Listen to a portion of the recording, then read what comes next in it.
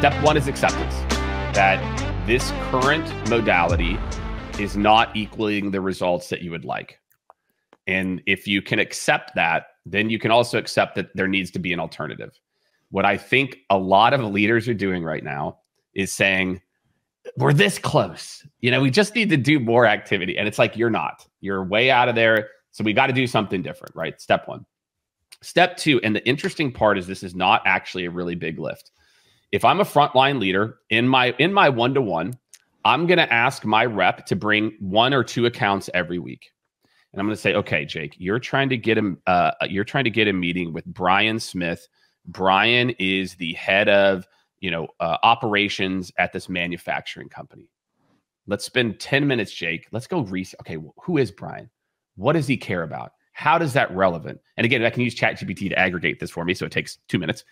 And then I say, all right, Jake, what do you think? If you were going to craft a message to Brian, what do you think some key elements will be?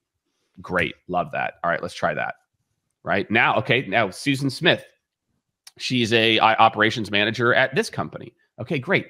What's different here? Is there anything different? You just have to train the reps. AI is very good at automation. It's very good at really good automation too now, right? Like it's getting there my friends, all we have left, all we have as humans right now is critical thinking and creativity. And by the way, AI is actually pretty good at creativity and critical thinking.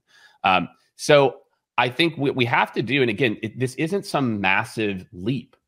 Instead, it's teach your reps, and this goes back to onboarding, where you know we have to teach our teams the persona we care about. What do they care about? What keeps them up at night? Set up customer meetings for customers to do a to do a roundtable with three or four customers and let mm. your hmm. sales team pepper them.